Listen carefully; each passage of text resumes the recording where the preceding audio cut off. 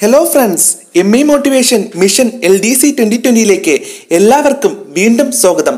എന്റെ പേര് ആകാശ്. നമ്മളിന്ന് ചർച്ച ചെയ്യുന്നത് പി എസ് സി പരീക്ഷയിലെ മലയാളം വിഭാഗത്തിലെ തദ്ധിതത്തെ കുറിച്ചാണ് നമുക്ക് ക്ലാസ്സിലേക്ക് പോകാം.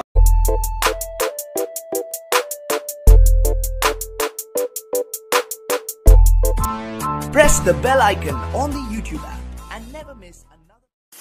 P S C പരീക്ഷയിൽ നിരന്തരം ചോദിക്കുന്ന തദ്ധിതവുമായി ബന്ധപ്പെട്ട ആവർത്തന ചോദ്യങ്ങൾ നമുക്കൊന്ന് പരിചയപ്പെടാം. ഒന്നാമത്തെ ചോദ്യം കാട്ടാളത്തം എന്ന പദം ഏത് വിഭാഗത്തിൽപ്പെടുന്നു രണ്ടായിരത്തി പതിനൊന്നിൽ നടന്ന എൽ ഡി സി ഇടുക്കി ജില്ലയ്ക്ക് ചോദിച്ച ചോദ്യമാണിത്. രണ്ടാമത്തെ ചോദ്യം തദ്വത്തത്തിന് ഉദാഹരണം ഏത്?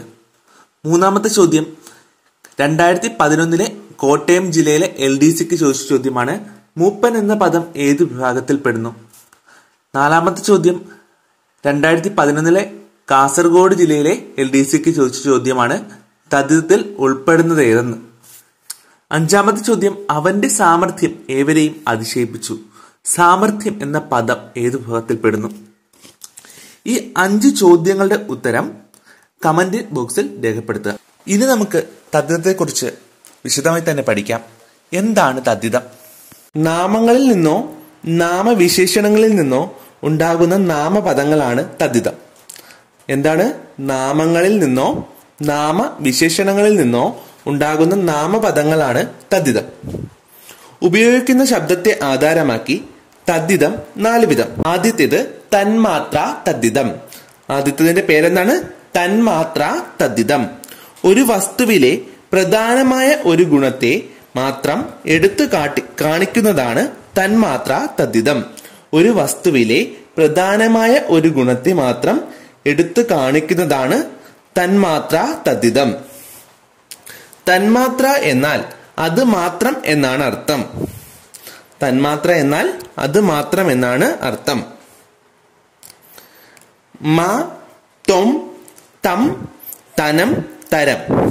മ തൊം തം തനം തരം. എന്നിവ ചേർത്ത് തന്മാത്ര തദ്ധിത ഉണ്ടാക്കാം.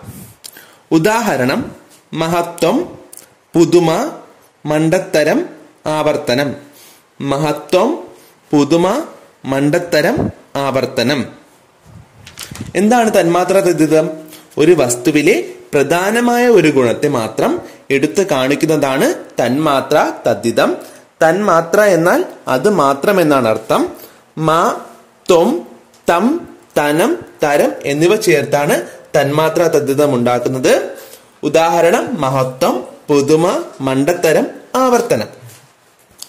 രണ്ടാമത്തെ തദ്ധിതമാണ് തദ്വത്തത്തിതം തദ്വത്തത്തിതം അതുള്ളത് അതുപോലുള്ളത് അതിൽ നിന്നുണ്ടായത് തുടങ്ങിയ അർത്ഥവിശേഷണങ്ങൾ കാണിക്കുന്നതാണ് തദ്വത്തത്തിതം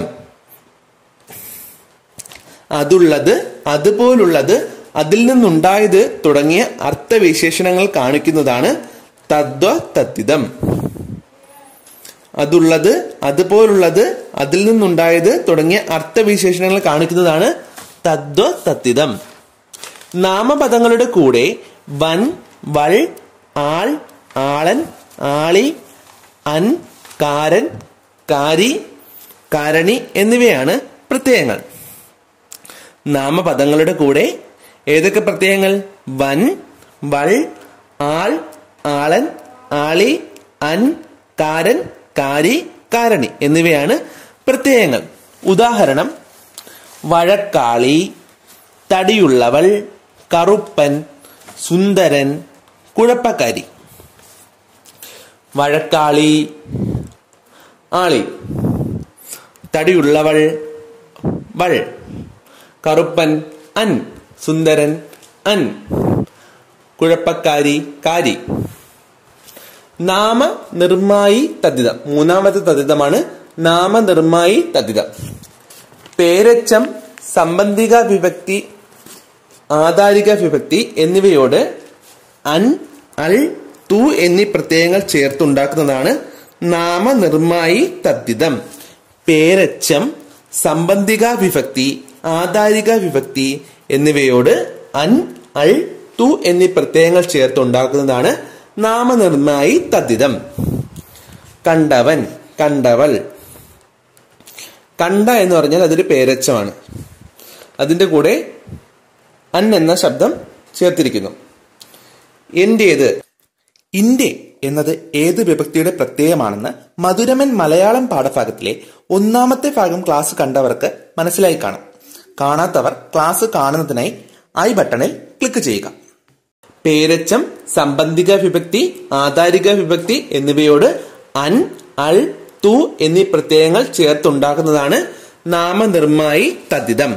പേരച്ചം സംബന്ധിക വിഭക്തി ആധാരിക വിഭക്തി എന്നിവയോട് അൻ അൽ തു എന്നീ പ്രത്യയങ്ങൾ ചേർത്തുണ്ടാക്കുന്നതാണ് നാമനിർമ്മായി തദ്ധിതം. ഉദാഹരണം കണ്ടവൻ കണ്ടവൾ. എന്റേത്? ഇന്നത്തേത്. ഇനി നാലാമത്തെ തദ്ധിതമാണ് പൂരണി തദ്ധിതം. സംഖ്യാനാമത്തോടൊപ്പം ആം എന്ന പ്രത്യയം ചേർത്ത ശേഷം ലിംഗപ്രത്യയങ്ങൾ ചേർത്താൽ പൂരണി തദ്ധിതം കിട്ടും. സംഖ്യാനാമത്തോടൊപ്പം ആം എന്ന പ്രത്യയം ചേർത്ത ശേഷം ലിംഗപ്രത്യയങ്ങൾ ചേർത്താൽ പൂരണി തദ്ധിതം കിട്ടും. സംഖ്യാനാമത്തോടൊപ്പം ആം എന്ന പ്രത്യയം ചേർത്ത ശേഷം ലിംഗപ്രത്യയങ്ങൾ ചേർത്താൽ പൂരണി തദ്ധിതം കിട്ടും.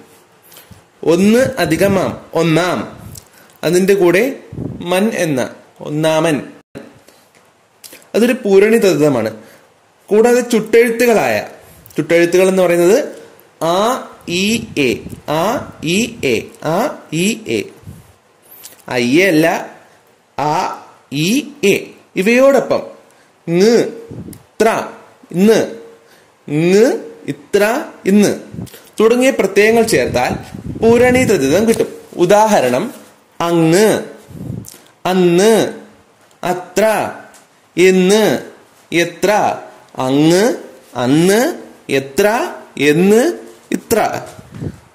അങ്ങ് എന്ന് അത്ര എന്ന് ഇന്ന് എത്ര. ഇതെല്ലാം ഉദാഹരണമാണ്. ഇനി നമുക്ക് കൃത്തുകൾ എന്താണെന്ന് നോക്കാം. ക്രിയയിൽ നിന്ന് ഉണ്ടാകുന്ന നാമങ്ങളാണ് കൃത്തുകൾ. ക്രിയയിൽ നിന്ന് ഉണ്ടാകുന്ന നാമങ്ങളാണ് കൃത്തുകൾ. ഓടുക എന്ന് പറയുന്ന ക്രിയയിൽ നിന്നാണ് ഓട്ടം. ചാടുക എന്ന ക്രിയയിൽ നിന്നാണ് ചാട്ടം. ഓടുക എന്ന ക്രിയയിൽ നിന്ന് ഓട്ടം ചാടുക എന്ന ക്രിയയിൽ നിന്ന് ചാട്ടം. കൃത്തുകൾ രണ്ടു വിധമുണ്ട്. കൃതികൃത്തും കാരകകൃത്തും. കൃതികൃത്തും കാരകകൃത്തും. എന്താണ് കൃതികൃത്ത്? ക്രിയയെ സൂചിപ്പിക്കുന്ന നാമമാണ് കൃതികൃത്ത്. ക്രിയയെ സൂചിപ്പിക്കുന്ന നാമമാണ് കൃതികൃത്ത്. ഉദാഹരണം കുടിക്കുന്ന. അതിൽ നിന്നാണ് കുടി. മറക്കുന്ന മറക്കൽ. കുടിക്കുന്ന.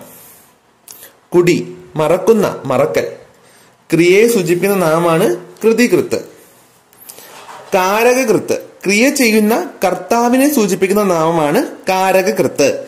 ക്രിയ ചെയ്യുന്ന കർത്താവിനെ സൂചിപ്പിക്കുന്ന നാമാണ് കാരക കൃത്ത് കുടിക്കുന്നു കുടിയൻ. പുതയ്ക്കുന്നു പുതപ്പ്. കുടിക്കുന്നു കുടിയൻ. പുതയ്ക്കുന്നു പുതപ്പ്. ക്രിയ ചെയ്യുന്ന കർത്താവിനെ സൂചിപ്പിക്കുന്ന നാമാണ് കാരക കൃത്ത് ക്രിയയെ സൂചിപ്പിക്കുന്ന നാമാണ് കൃതികൃത്ത്. ക്രിയയിൽ നിന്നുണ്ടാകുന്ന നാമങ്ങളാണ് കൃത്തുകൾ. ഈ പാഠഭാഗം നിങ്ങൾക്ക് മനസ്സിലായി എന്ന് വിശ്വസിക്കുന്നു. നോട്ടുകൾ തയ്യാറാക്കി പഠിക്കുക. അഭിപ്രായങ്ങൾ കമന്റായി രേഖപ്പെടുത്തുക ലൈക്ക് ചെയ്യുക നിങ്ങളുടെ കൂട്ടുകാരിലേക്ക് ഷെയർ ചെയ്യുക. ഇനിയും കൂടുതൽ ക്ലാസ്സുകൾക്കായി M A motivation channel subscribe ചെയ്യുക. ഇനി വീണ്ടും പുതിയ ക്ലാസ്സിൽ കേട്ടുമുട്ടും വരെ എല്ലാവർക്കും വിജയാശംസകൾ.